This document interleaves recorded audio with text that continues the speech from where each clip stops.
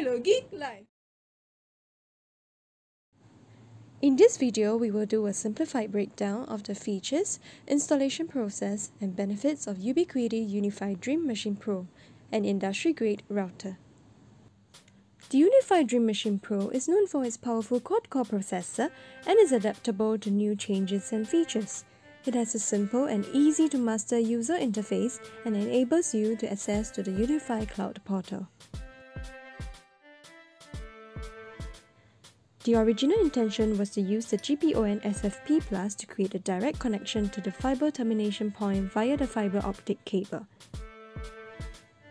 This is how the setup is imagined to be to reduce the need for multiple wires.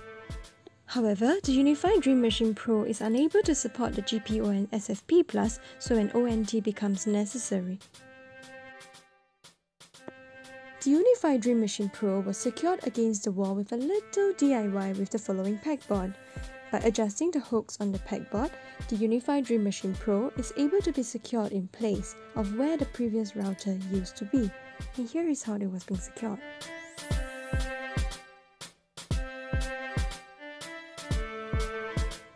After trying out the industry-grade Ubiquiti Dream Machine Pro for two months now, we have found that it does not get sluggish in terms of performance like the consumer routers.